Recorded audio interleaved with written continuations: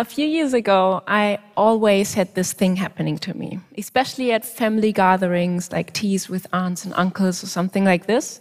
When people come up to you and they ask you, So, what are you doing?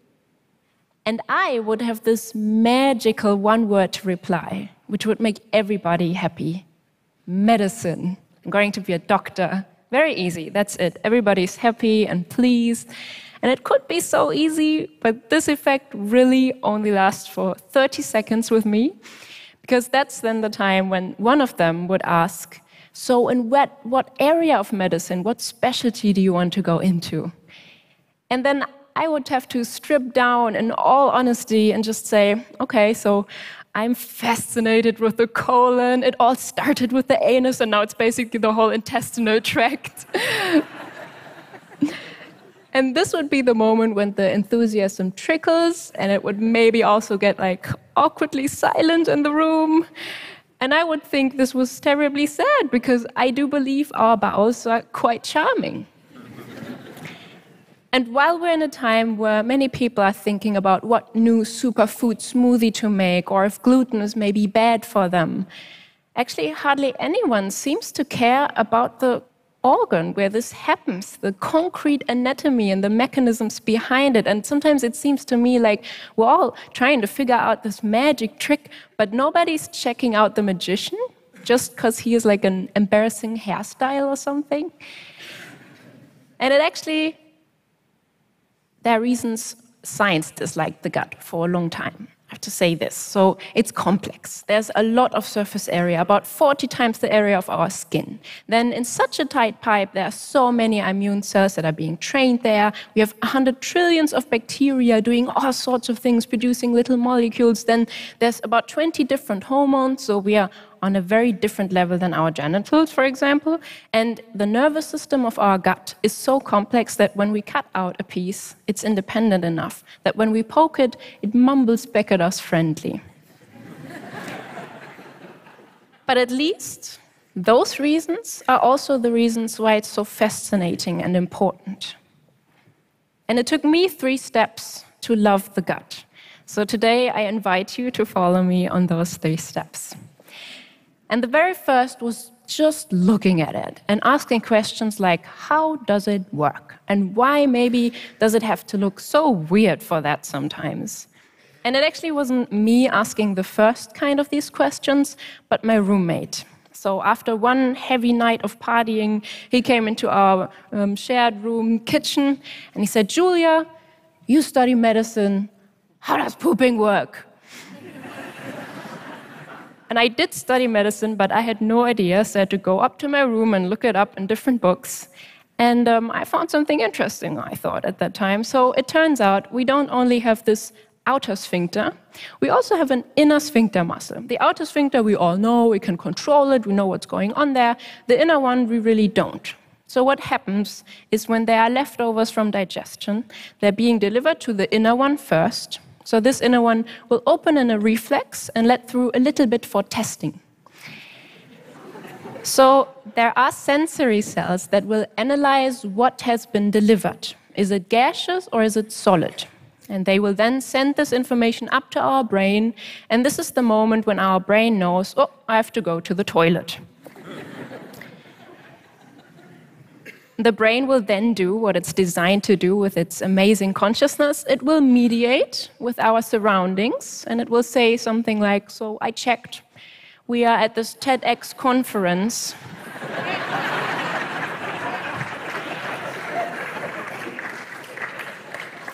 Gaseous, maybe, if you're sitting on the sides and you know you can pull it off silently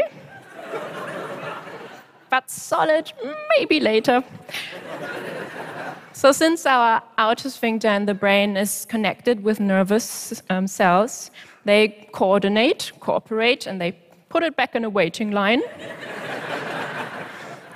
for other times, like for example, when we're at home, sitting on the couch, we have nothing better to do, we are free to go.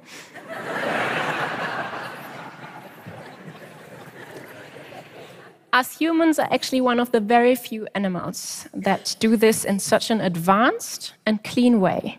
And to be honest, I had some newfound respect for that nice inner sphincter dude. You know, not connected to nerves that care too much about the outer world all the time, just caring about me for once. I thought that was nice. And um, I used to not be a great fan of public restrooms, but now I can go anywhere because I consider it more when that inner muscle puts a suggestion on my daily agenda.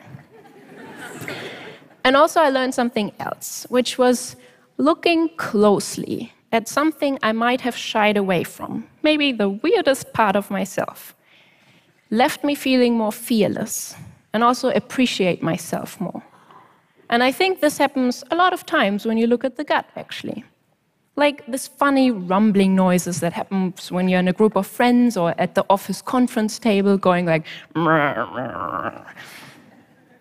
This is not because we're hungry. This is because our small intestine is actually a huge neat freak, and it takes the time in between digestion to clean everything up, resulting in those eight meters of gut, really seven of them being very clean and hardly smell like anything.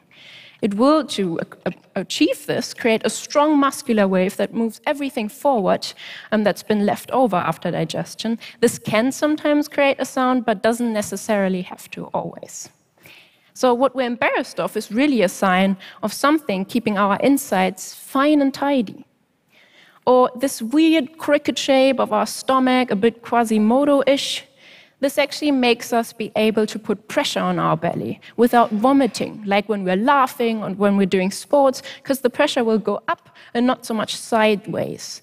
This also creates this air bubble that's usually always very good visible in x rays, for example and can sometimes, with some people, um, when it gets too big, um, uh, create discomfort or even some sensations of pain. But for most of the people, it just results that it's far easier to burp when you're laying on your left side instead of your right. And soon I moved a bit further and started to look at the whole picture of our body and health. And this was actually after I'd heard um, someone I knew a little bit had killed himself. And it happened that I had been sitting next to that person the day before, and I had smelled that he had had very bad breath. And when I learned of the suicide the next day, I thought, could the gut have something to do with that? And I frantically started searching if there were scientific papers on the connection of gut and brain. And to my surprise, I found many. And it turns out it's maybe not as simple as we sometimes think. We tend to think our brain makes these commands and then sends them down to the other organs, and then they all have to listen. But really, it's more that 10% of the nerves that connect brain and gut deliver information from the brain to the gut. And we know this, for example, in stressful situations, when there are transmitters from the brain that are being sensed by our gut. So the gut will try to like um, load, lower all the work and like um, not be so uh, working and taking away blood and energy to save energy for problem solving. This can go as far as nervous vomiting or nervous diarrhea to get rid of food that it then doesn't want to digest. Maybe more interestingly, 90% of the nervous fibers that connect gut and brain deliver information from our gut to our brain. And when you think about it a little bit, it does make sense because our brain is very isolated. It's in this bony skull surrounded by a thick skin, and it needs information to put together a feeling of how am I as a whole body doing. And the gut actually it's possibly the most important advisor for the brain because it's our largest sensory organ, collecting information not only on the quality of our nutrients, but really also how are so many of our immune cells doing, um, or things like the hormones in our blood that it can sense. And it can package this information and send up to the brain, and it can there not reach areas like visual cortex or word formations. Otherwise, when we digest, we would make we would see funny colors or we would make funny noises. No. But it can reach areas for things like morality, fear, or emotional processing, or areas for self awareness. So it does make sense that when our body and our brain is putting together this feeling of how am I as a whole body doing, that the gut uh, has something to um, contribute to this process. And it also makes sense that people who have conditions like irritable bowel syndrome or inflammatory bowel disease, they have a higher risk of having anxiety or depression. I think this is a good information to share because many people will think, I have this gut thing, and maybe I also have this mental health thing. And maybe, because science is not clear on that right now, it's really just that their brain is feeling sympathy with their gut. This has yet to grow in evidence until it can come to practice. But just knowing about these kinds of research that are out there at the moment helped me in my daily life. And it made me think different of my moods and not externalize so much all the time. I feel oftentimes during the day we are a brain and a screen. And we will tend to like look for answers right there, and maybe the work is stupid or our neighbor.